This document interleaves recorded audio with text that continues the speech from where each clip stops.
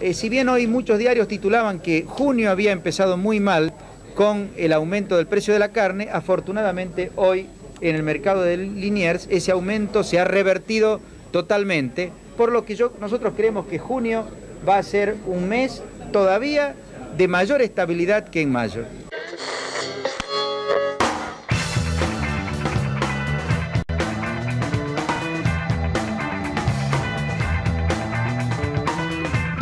Lo habíamos anticipado, 24 minutos de las 12 del mediodía en todo el país. Lo tenemos aquí en nuestros estudios. Al licenciado Martín Coslino, él es el titular del Centro de Estudios Económicos de la Unión Industrial de nuestra ciudad. Muy buenos días, bienvenido. ¿Qué tal chicos? ¿Cómo les va? Muy bien, ¿usted? Escucho el separador, allí una voz conocida, un señor que más allá de no, de no estar involucrado en la actualidad de nuestro país, continúa siempre haciendo aseveraciones tan contundentes ¿no? o cuestionables, depende del punto de vista desde el que se lo mire, hablamos del ex ministro de Economía Caballo. Polémico, digamos. Polémico. Eh, esa por ahí podría ser la... La definición más cercana. fíjate que, que, hoy prácticamente todo lo que, lo que se dice es polémico porque depende cómo se lo interprete, depende de qué lado te pares, siempre vas a encontrar una, una justificación o, una crítica. Entonces, eh, hoy me parece que estamos asistiendo a, una situación, yo hablo en términos económicos, pero extrapolalo a lo que se te, parezca, eh, digamos, una situación en la que por todo hay polémica, ¿no? Así es. Bueno, vamos a comenzar por el principio, como corresponde, para ordenarnos, Martín. ¿Hace cuánto estás a cargo del Centro de Estudios Económicos, o cómo llegás, mejor dicho, a hacerte cargo del Centro de Estudios Económicos de la Unión Industrial? Bueno, vamos a empezar por la, parte más breve para responder, que es desde cuándo estoy ahí. Estoy desde abril del 2011. Y cómo llego ahí es una historia más larga que, no les quiero sacar tiempo al aire, pero la verdad que, que está muy bueno. Em, yo trabajé desde antes de recibirme, desde el año 98, trabajé en el CREVA, ¿eh? ¿sí? Centro de Estudios Económicos eh, que pertenece a la Bolsa de Comercio. Trabajé hasta el año 2007. Y, luego me fui a hacer un, posgrado, una estancia en, Brasil, muy breve, eran dos meses, pero empalmé, digamos, eso con, proyectos personales, entonces ahí decidí eh, dejar el CREVA 2008, eh, perdón, 2008. Y, cuando volví me, dediqué básicamente a esos proyectos personales que tenía. O sea, tuve un año en, lo que, en el que laboralmente solo estuve actuando en docencia y después eh, todo el tiempo eh, para mí, podríamos decir, manejar absolutamente todos mis tiempos. tuve alguna consultoría en el exterior, realmente fue una época, como siempre digo, iban a dar todos los días, una cosa hermosa. Y eh, sobre principios de 2011, eh, un profesor de la universidad, que es el doctor Jorge Pasi, que en ese momento estaba a cargo del Centro de Estudios de la Unión Industrial, creado en agosto de 2009, él decide dar un paso al costado en, su cargo de director del Centro de Estudios y en la Unión le dice, mira Jorge, eh, muy agradecido por todo el tiempo que estuviste, pero un último favor te vamos a pedir, trae a alguien. Déjame a alguien. Déjame a alguien. Aunque sea deja una planta, algo.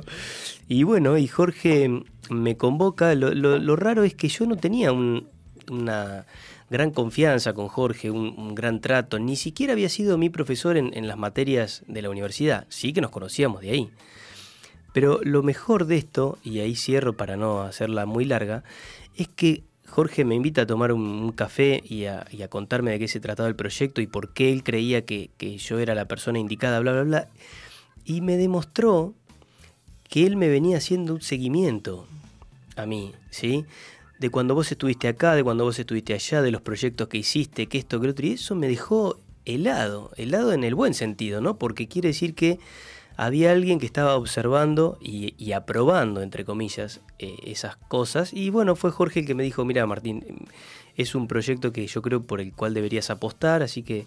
Y bueno, y ahí estoy, la verdad que súper agradecido a la Unión, a Jorge por supuesto, que siempre nos seguimos viendo.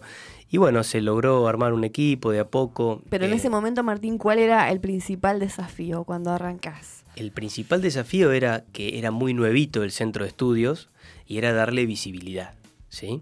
Sobre todo teniendo eh, como competidores, lo digo en el buen sentido, de competidores muy bien posicionados como el CREVA, como la propia universidad. Y la Unión estaba en ese momento haciendo una apuesta muy fuerte de tener un organismo propio de estudios económicos y de posicionarlo en la ciudad. Y ese fue el principal desafío. O sea, sí o sí había que ponerlo en la vidriera. Sí, decir, tal acá cual. estamos, Exacta- esto empe- hacemos. Empezar a hacer cosas, ejecutarlas, que salgan bien, difundirlas, toda un- una cadena de cosas que uno a veces ni se la imagina. Dice, "Guau, voy a dirigir un centro de estudio económico. Bueno, tenés que pensar, por supuesto, asesorado por especialistas, pero tenés que pensar hasta de qué manera lo vas a difundir.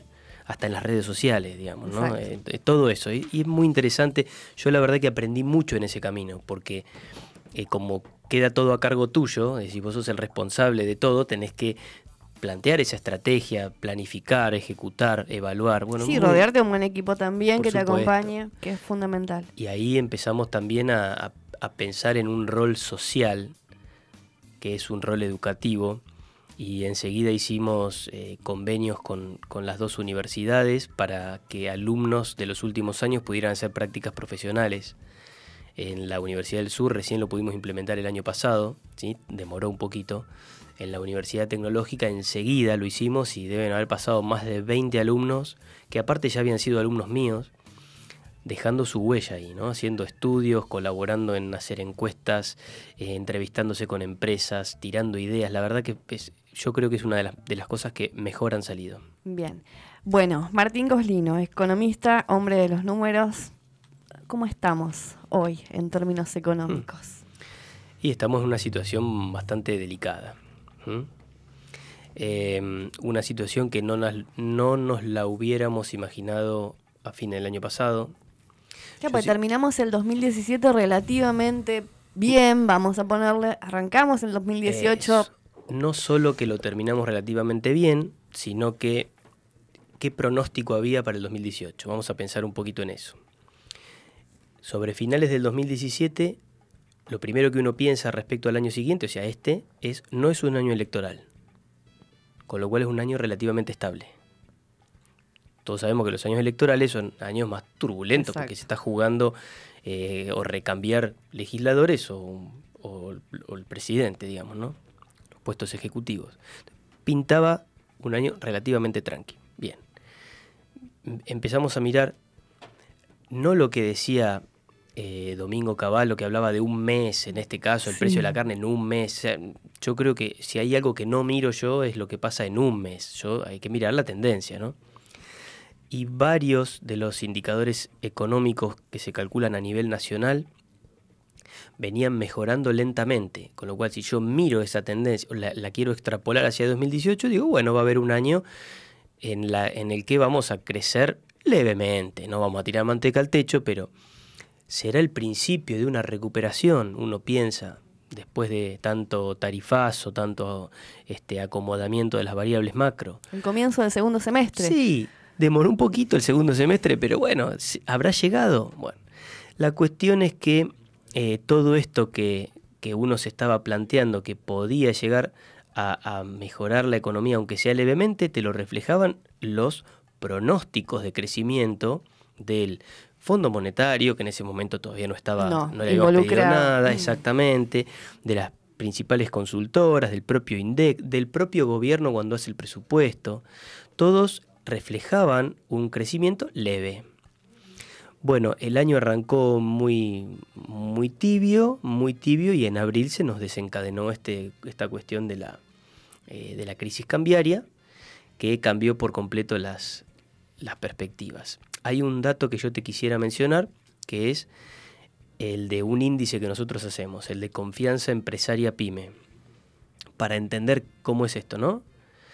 Eh, le preguntamos a los empresarios cómo se ven hoy respecto a hace un año y cómo creen que van a estar dentro de un año y si es buen momento para invertir. Y en definitiva, cuál es su humor empresarial, ¿no? ¿Cómo perciben? ¿Y cómo está predispuesto? ¿Cómo, pasan por el, cómo les pasa por el estómago esto, no? Bueno, en octubre de 2017, ¿sí? Sí, sí, estaba yendo para atrás. Sí, eh, por eso te digo, eh, eh, sin estar influidos por el resultado de las elecciones, porque lo hicimos antes, sin estar influidos, dio el pico más alto de confianza desde 2012 que lo venimos midiendo.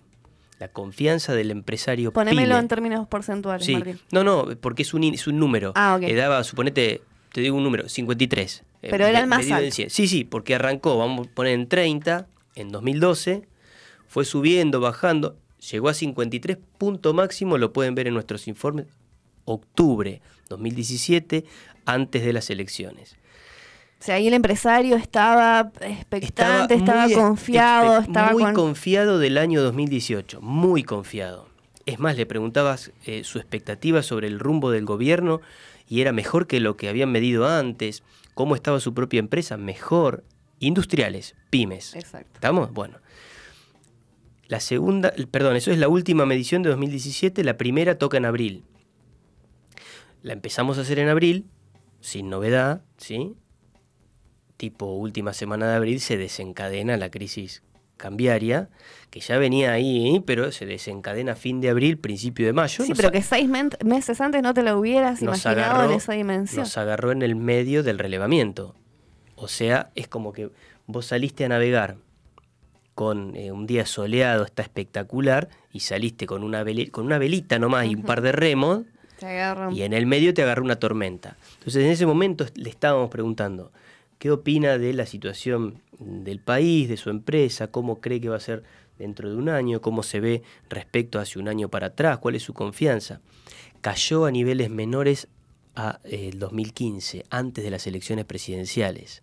O sea, se, te lo digo, se derrumbó la confianza. Pero claro, pero se la estábamos preguntando en ese momento, con el medio de la tormenta. El tipo que se le volaba la vela, que se le cayó un remo al agua, que no podía enderezar el bote, y le decía, ¿usted qué opina sobre se derrumbó la confianza. Y eso cambió el eje. Sí, el que te la contestó, ¿no? Porque me imagino que también hasta en, la predisposición se debe notar. Bueno, nosotros, eh, ¿qué, qué detalle interesante que dijiste. Nosotros el primer dato para saber, antes de procesar los resultados, para saber qué va a dar, es la predisposición a responder. ¿Sí? Por ejemplo, ¿cuántos te responden de una, en general por mail, te les llega un mail y te lo responden?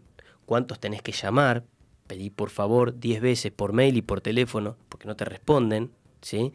¿Cuántos te responden? Eh, no quiero que se malinterprete, pero te responden de muy mala manera. ¿Cuántos te dicen rajada acá? Mirá, no te das cuenta de lo nos hemos comido algún insulto también, los menos, pero y hay que entenderlo, está muy sensible en ese caso el empresario y cuando vos le vas a preguntar te saca, como decía mi abuela, vendiendo almanaque, ¿viste? Bueno, ¿Y cuál es, perdón, ¿y cuál es el rubro en el que más lo sacaron vendiendo almanaques? Eh, no distinguimos dentro de las pymes industriales, no tenemos distinción por rubro en este caso, en, este índice. Es el cúmulo de pymes industriales. ¿sí? Eh, pero para que vos tengas una idea, en general los que más eh, vapuleados están, los que más sufren son siempre los más chicos. ¿sí? la pyme más grande tiene todavía un poquito más de espalda. Te voy a aclarar esto, ¿no? Eh, Marcelo, tenés, em, eh, empezamos a medir eh, empresas que tienen mínimo 10 empleados hasta 200. Ese, eso es lo que entra en la categoría de público objetivo. Bueno, los más chicos son los que más sufren, donde se les resienten un poquito las ventas, tienen que acarrear un, un, costo muy alto, aunque sean 10 empleados, 12, pero no alcanzan a hacer frente a eso y el empresario está muy sensible, ¿no? Si bien no sale eso en el estudio por lo que me decís, pero ustedes... Eh, lo percibimos. Pero ustedes saben cuál es el sector más em, eh, perjudicado o más sensible. Mm, sí, pero no, no le prestamos mucha importancia, te quiero decir, porque hoy, digamos, hoy el que está de muy mal ánimo es una empresa constructora y mañana es una empresa alimenticia y no, no, no eso no es realmente significativo. Lo que sí es significativo es esto que te decía, la, predisposición buena o mala a responder, ya te pinta de cuerpo entero lo que te va a dar el relevamiento. ¿sí?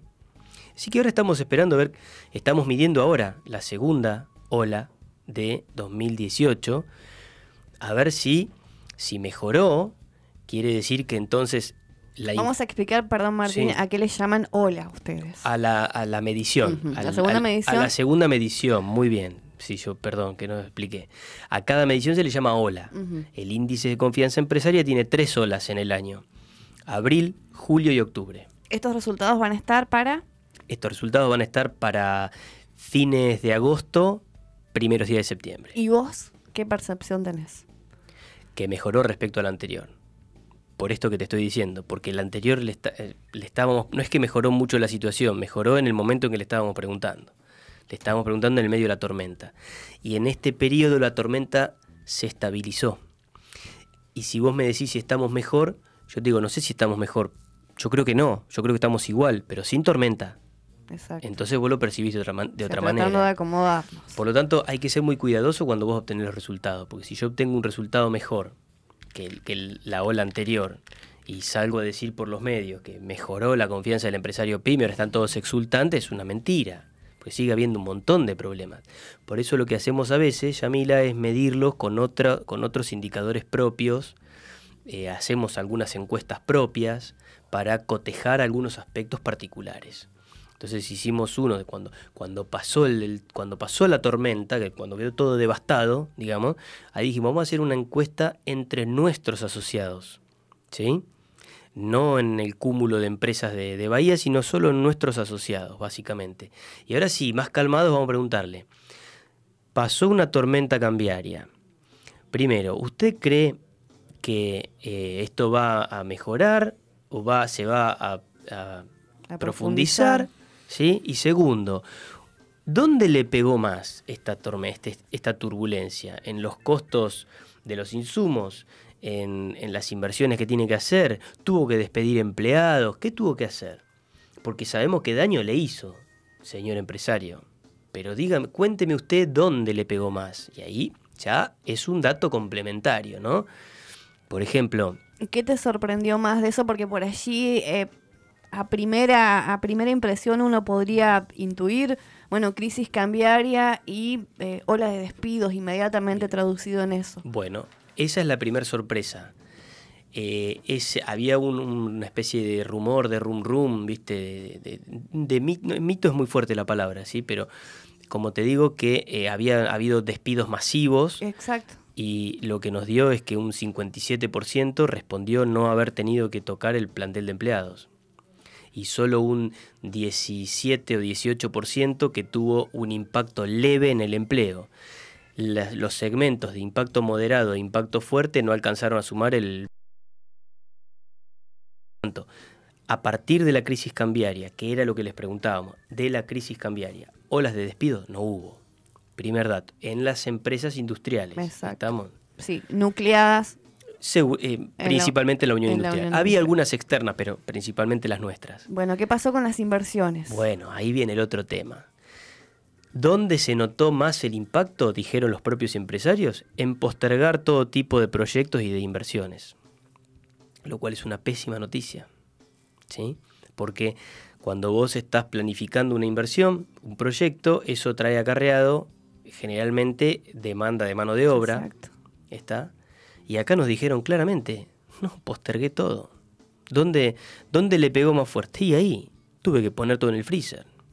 El impacto fue muy fuerte y moderado. Vos fijate, todo concentrado en los, en los, segmentos más negativos. ¿sí? Entonces, cuando vos ves una cosa como esa, decís, claro, em, empezás a entender la lógica. ¿Cuál es la lógica del empresario? Hasta que esto no se calme. Ah, la cautela, ¿dónde, la cautela, ¿dónde voy a poner un peso? Ni loco. ¿sí? ¿Qué pasó con las ventas? Las ventas estuvo homogéneamente distribuido el impacto, siempre que, hubo impacto, ¿no? Leve, moderado y, fuerte, eh, eh, por igual, digamos. Las ventas cayeron en, esos tres niveles de daño, ¿sí? En el total de las empresas. Lo mismo pasó con la cadena de pagos. El tema de las ventas y la cadena de pago fue que aparte tiene una alta correlación. Caen las ventas, y se traba la cadena de pago, ¿sí?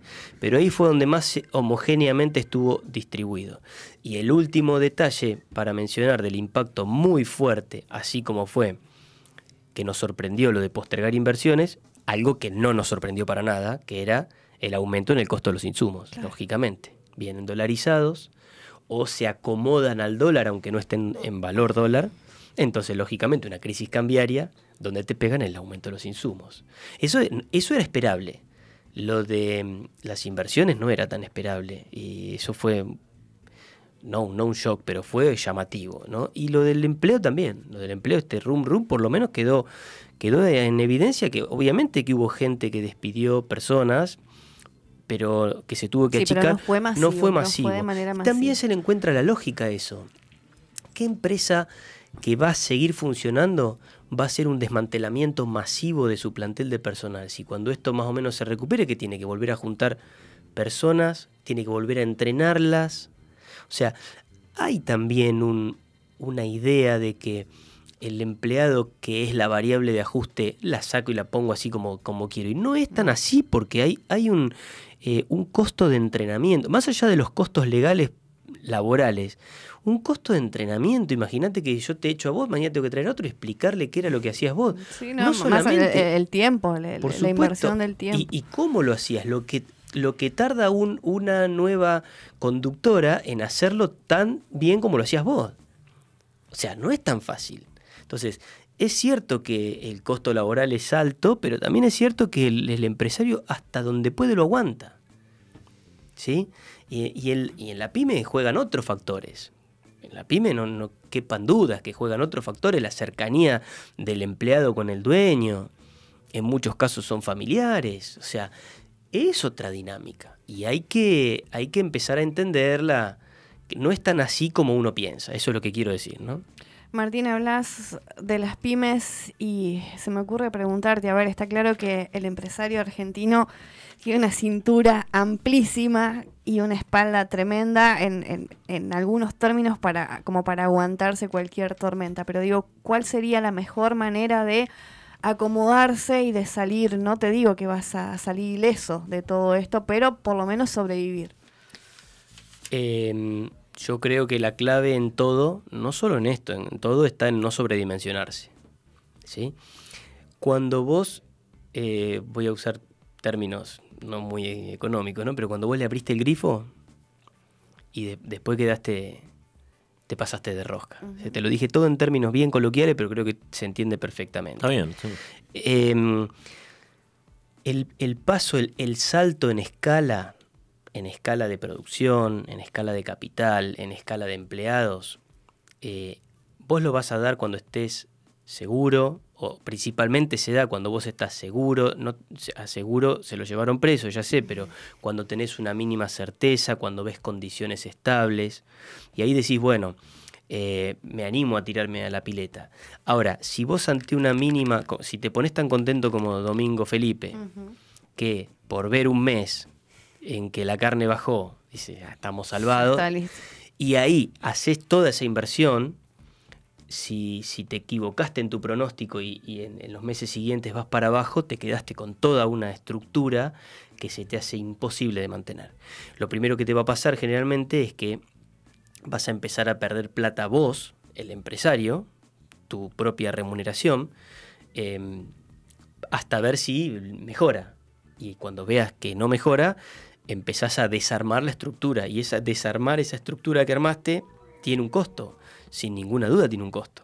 ¿sí? Esto que te decía, tenés que indemnizar empleados, tenés que tal vez mal vender eh, capital. Imagínate que te compraste máquinas, si vos después las vendés, primero tenés que encontrarle el novio, como se dice vulgarmente, y segundo que no te la van a, a comprar al mismo precio que vos la compraste.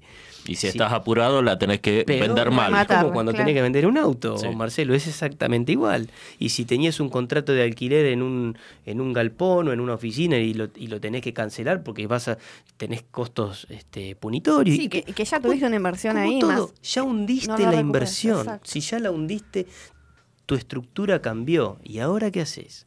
Entonces, se entiende que una, una estrategia es yo me mantengo lo más eficiente, eficientemente posible con la estructura chica que tengo hasta que veo que ya no puedo más y ahí pego el salto. Pero para pegar ese salto tiene que haber condiciones estables, yo creo, ¿no? Hablando de condiciones, eh, Martín, ¿qué es lo que tiene que pasar? ¿Qué condiciones eh, debemos darle en nuestra ciudad, en Bahía Blanca, como partido, si querés, al, al empresario, como para, para generar, para seducir inversiones? Para que vengan para acá, digo, porque hay competencia claramente. Sí. ¿Cómo será la competencia que empieza a haber para radicar inversiones en determinados distritos? Yo el otro día encontraba en las redes sociales encontraba noticias que, por ejemplo, un municipio del conurbano te exime durante dos años de tasas municipales para radicarte ahí. Otro municipio te las difiere. Entonces, ¿qué, qué va pasando ahí? Bueno, imagínate que somos 10. 10 municipios. Vos sos la primera que dice yo te eximo, entonces van, todas van a querer ir para allá. Eh, y después Marcelo imita lo que vos estás haciendo o algo parecido, y si yo soy el último, no va a venir nadie acá. En el, en el periodo de cinco años, todos los demás se van a ir radicando en todos los demás y, cuando ya no queden empresas por radicar, yo digo, ahora podría, che, yo bajar las tasas para, para los nuevos emprendimientos, pero ya no hay más industria por radicar, ya se radicaron todos. Entonces, empieza a haber una competencia territorial, ¿sí? Por la radicación de empresas. Y ahí el hoy por hoy somos atractivos en ese sentido. El municipio yo creo que ahí no se puede dormir, tiene, vuelvo a lo coloquial, el municipio tiene que primerear, tiene que salir con, con una estrategia agresiva de captación de empresas que tenga que ver con que en, tal vez en los primeros años no cobre tasas municipales o se los, se los reduzca o le difiera, pero... Sí, bueno, los servicios. Servicios mismos. Eh, darle algún tipo de bonificación, mejorarle las condiciones de erradicación en el, en el parque industrial o en otros parques industriales. Tiene que ser atractivo una serie de cosas. Potenciarse con el, con el consorcio del puerto en el caso de que tenga que ver con, con empresas que, que necesiten los servicios del puerto o de la zona franca. O sea, acá hay que armar, se dice fácil, ¿no? Hay que armar una mesa eh, entre todos, Zona Franca, Puerto Unión Industrial, Corporación, Municipio, todos esos, y decir, muchachos, todos, todos nos tenemos que poner la meta de que de acá a cinco años se tienen que erradicar mínimo 100 empresas de esta escala en Bahía. ¿Cómo hacemos? ¿Vos qué hacés? ¿Vos qué hacés? ¿Vos qué hacés? Ninguno por sí solo lo puede hacer. ¿Y qué tan lejos estamos de eso? No, lejísimos para mí. Para mí estamos lejísimos. Estamos lejísimos porque no sabemos trabajar en equipo. ¿Es tarde? No, tarde nunca es. Pero pero estamos lejos porque no sabemos trabajar en equipo, porque cada uno quiere la gloria para sí mismo. ¿Sí? Un, instrumento como Zona Franca, eh, no, tengo nada contra los chicos, eh, por, por, favor, pero quiero decir, un instrumento como Zona Franca debería, que lo están haciendo, eh, convocar a todos y decir, bueno, ¿qué hago yo para que vos tengas, yo soy Zona Franca y vos sos la Unión Industrial, ¿qué hago yo para que vos tengas más asociados? ¿Y vos qué haces para que haya más empresas acá? Y cada uno trata de, con la estructura que tiene, hacer lo mejor posible, pero puertas adentro. Y me parece que hace falta otra cosa. Tenemos aquí en nuestro programa. Una cortita le quiero hacer. Antes de, sí, gusto, sí, antes de, la sección que. Eh, te saco la, foto, se Te saco la foto, sí. ya me había olvidado. Eh, ¿Cómo hace? Me, da vueltas esto. Eh, la gente común digamos, no, sos gente común también. La gente de a pie, si querés llamarlo de alguna manera, eh, se hace mala sangre porque no le alcanza el sueldo, eh, tiene algunos datos así por arriba. Alguien que maneja tantos números como vos, ¿cómo hace para no hacerse mala sangre o te haces mala sangre? Con todo esto que vos sabés.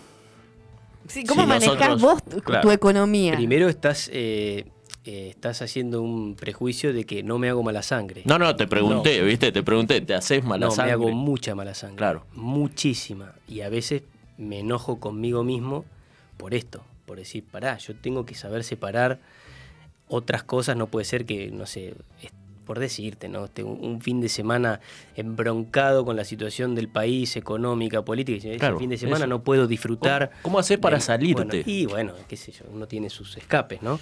Eh, salís acá. Yo, por, yo particularmente, vamos a lo concreto, me pongo los auriculares y me voy a caminar. Mínimo una Está bien, pero en términos económicos, ¿qué eso, haces? Eso es lo que, lo que le, respondo a, Marcelo de mm. cómo no hacerte mala sangre. Ahora, voy a tu pregunta que es mucho más específica y es cómo manejas tu economía. ¿Llegás a fin de mes? Sí, no estaba preparada, ¿eh? Igual. No, no, no, no, no, pero no hay ningún problema. Mira, eh, yo tengo siempre un, eh, tengo muy claro lo siguiente. Eh, todo no se puede. ¿Sí? Eso es lo que les enseño a mis alumnos. Todo no se puede. Por lo tanto, ponete prioridades. ¿Qué querés? ¿Querés esto? ¿Querés... ¿Qué querés hacer este mes? ¿Este mes quiero salir de viaje? Bueno, entonces. Ah, ¿vos querías cambiar el celular? Pero, ¿cómo haces cuando tenés hijos? así, todo no se puede. ¿Sí? Tengo dos hijas. Chicas, salimos de viaje este fin, este, este mes. Bueno, el celular quedará para el mes que viene. Este, no, porque todo no se puede. ¿Está? O sea, una cuestión de prioridades. Y después, una, esto es tal vez una verdad de perogrullo, pero no tanto. Te voy a poner un ejemplo concreto. Yo voy a hacer algunas compras. Voy camine, dice, decía Alita y dice Mauricio, y camine. Sí, pero yo no hago tanto eso. Yo soy muy fiaca para eso. Yo si salgo a caminar, salgo a escuchar música. Pero para ir a comprar, no. Pero voy a esto. Voy a la verdulería, que voy siempre. ¿Sí? ¿Cuánto están los tomates? 78 pesos el kilo. Ah. Mira qué bien. Guardá los tomates hasta frisalos. los tomates, claro. esto que te digo es textual. yo hago lo mismo. ¿eh? Y los zapallitos verdes, 118 pesos el kilo. Fantástico. Mira qué bien. Che. ¿Va a llevar algo más? No, no. Dame las mandarinas de oferta. Y la zanahoria. Y dame la zanahoria. Y dame una eh, cebolla para hacer una fugaza. Y ya está. Y me encantan los tomates. Y ni te digo los zapallitos verdes. 98 pesos está el kilo de tomate. Pero si está a ese precio no lo voy a comprar. Entonces, esto es mucho más difícil de hacer con bienes que vos no tenés sustituto. No le puedo decir a Edes. No, no. Este, no, no, bajame la palanca que pongo un sí, sí, sí, o, o, a Camus y me traigo una garrafa. Claro, Pero con lo que sí podés, hacelo. Mm. Hacelo. Está cara la nafta, anda más en bicicleta, camina más. Entonces yo lo que creo es que en muchos casos nos quejamos mucho pero ninguno toma las medidas personales correctivas en su propia economía para acomodarse. Es duro lo que digo porque es un palazo a un montón de gente. Bueno, lo lamento, cada uno se tiene que hacer cargo. Cada uno tiene que aprender a manejar su propia economía en lugar de quejarse más allá de que la queja esté, sea legítima y que aparte no tenga. no le quita no legitimidad. le quita legitimidad, pero empezá a manejarte vos mismo. Empezá por apagar las luces, aunque sea. Bueno, ponele. No pagues Netflix, escucha Vorterix, por ejemplo. también, también, también. Muy bueno. Te saco la foto. Es una sección que, bueno, te propone tirarte siete palabras. Eh, te vas a dar cuenta, obviamente, no necesito aclarar esto, que no están azarosamente elegidas. Y la consigna es que Goslino nos las defina. En principio sería con una palabra de ser posible. Bueno, vamos, ningún problema. Vamos con la primera. Dinero. Em, ¿Cómo definirte dinero? Te diría que es intercambio. Eh, eh, la escuchamos hasta dormidos. Inflación. El peor mal. Amor. Lo que falta. Pobreza. Lo que sobra. A ver si me decís que sobran milanesas. Me encantan. Limpia vidrios. Pena. Garrafa. Garrafa. Subdesarrollo. La última, Vorterix. Em, innovación. Martín Goslino, un placer. Muchísimas gracias. No, gracias a ustedes por la invitación, chicos.